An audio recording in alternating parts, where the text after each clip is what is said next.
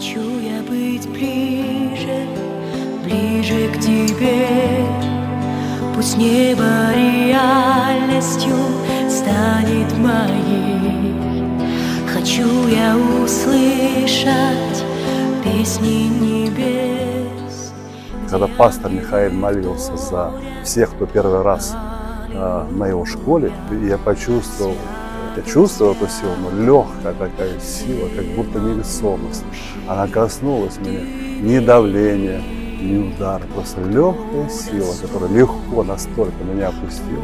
Тело стало легкое совершенно, свободное, будто я родился заново ощущение.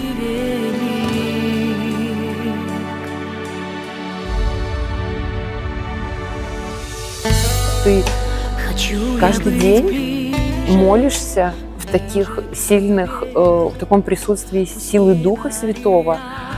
Я начала понимать, что мне казалось, я на самом деле не работаю, я человек посвященный Богу, Слову, в проповедях, в молитве.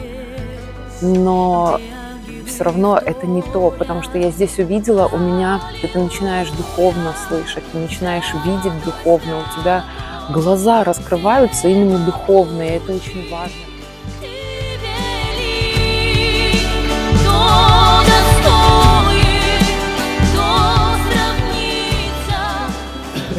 И когда вы первый раз за меня помолились,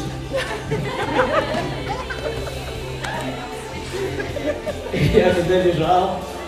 Серьезно такое было?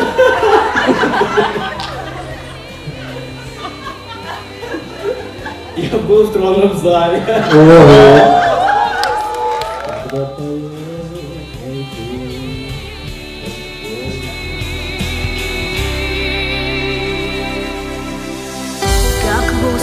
воск растает горы перед лицом его, Силы тьмы трепещут перед именем того, Кто вознесен над всеми,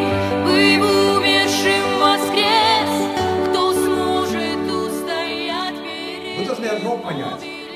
Как вы на себя смотрите, такими вы и появитесь. Вы должны понимать, что вы сверх, супер человек. Вы новое творение. Вы не человек даже. Вы Бога человек. Вы Бога человек, который проявляет природу Отца на этой земле. И вы как посол, вы как ам- амбассадор Его славы на этой земле. и физически Бог исцелил меня. Пастор, я вышла для молитвы, но не дошла.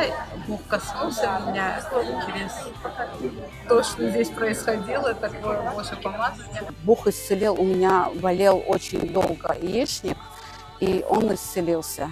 Я уже не болею. Что я, значит, ощутил? У меня полностью прош- прошла вот эта вот, э, скажем так, нога моя полностью Господь исцелил, исцелил. да. Полностью исцелилась голова, то есть никаких болей у меня больше нет. А как долго у вас это было? А, Ну, наверное, года 3-4. Давайте прославим.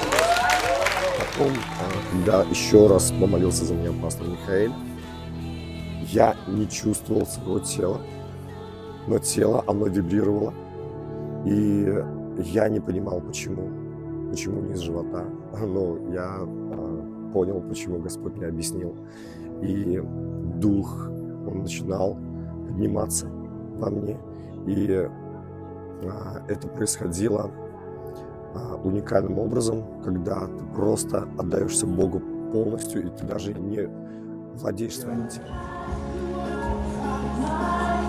Никогда такого еще не чувствовал, только на прошлой школе Ноха, когда увидел Иисуса. Этот ребенок увидел Иисуса на прошлой школе Еноха. А что ты чувствуешь? Ты видела Иисуса, что сейчас переживаешь? Ну, сейчас особую любовь и видела золотые блестки.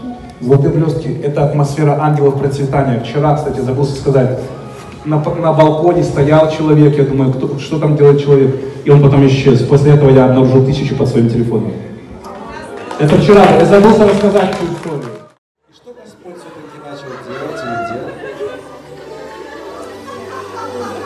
Освобождение раз. Что еще?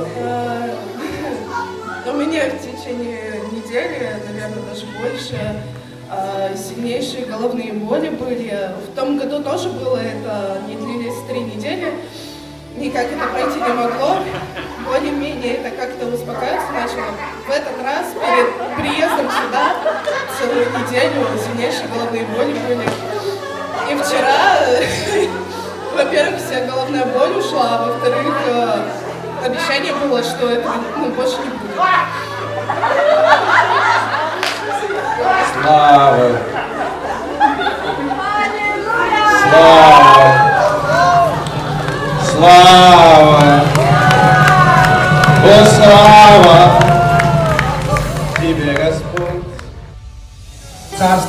Является в силе и славе.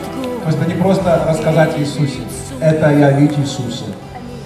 Апостол Павел сказал, и проповедь моя, и слово мое не в словах человеческой мудрости, но в явлении силы и духа. Это то, с чего началась церковь. Она не началась просто с прославлений или собраний. Она началась с потрясения и огненных языков на апостолов. Это то, что должно являться базой церкви. Это сила Божья.